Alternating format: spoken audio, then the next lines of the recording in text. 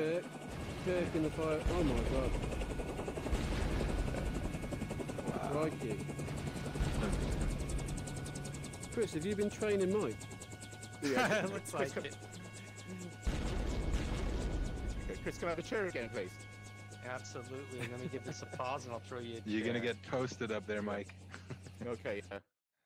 All right. Mike, I've got so many technical questions, but we'll leave those for another day. Yeah, leave that for another Like- day, I think. Yeah. like the you 360 go, my video friend. that's a playing. Anyway, this is cool, Mike. I like Here's that your chair, Mike. different. Okay. I, I, I know I've been told that I've been on the hot seat before, but this is ridiculous, you know. Oh my god. you planned that. I planned that, yeah. I was trying to get that one out. Can I Yeah. have this? impose extra stresses Yeah. and pressures on Yeah. police officers Yeah. when they're making their decisions um, Right. that actually really bring out that decision making and really give that realistic sort of experience which you can't replicate in the classroom so to have this sort of scene here and have the bus driver talking to the officer saying look can, it's only just a bag can can we just take it off the bus i've got a round to do i've got i've got passengers i need Yeah. i need to take i'm Yeah. delayed by an hour all of that sort of pressure on officers may lead them to think, oh, I'm just going to treat this as, as lost property Yeah. rather than do a thorough assessment. Whereas So here we've got we some background them- noise already. Yeah. This uh, you hear Yeah. that? I think Chris probably brought that in.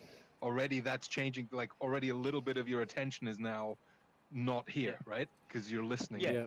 And what we can do after this is, is, is after the responding officers have actually done their assessment, and if they turn around and they, Ooh. there we go. Yeah. Another problem. So again, is it typical for the environment that, that it's been found in?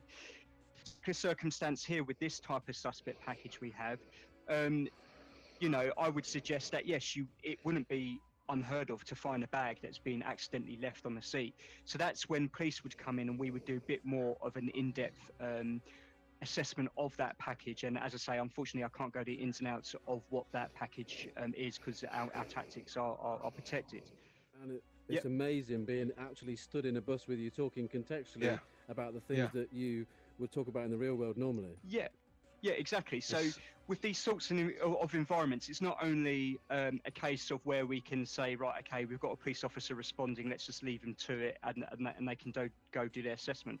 We are actually able to bring classrooms of new recruits into an environment like this, where we can bring them all into the bus at the same time, and then Yeah. actually show them the process that an experienced officer would go through, whether that be a trainer or whether that be an experienced officer that, that we brought in for the day to share their real life experiences. We can kind of Mhm. replicate that and bring that into these sorts of environments, which, which is just amazing. And as I say, when we're working in classrooms and, you know, because um, new recruits training in, in, in the police and the Met is about six months.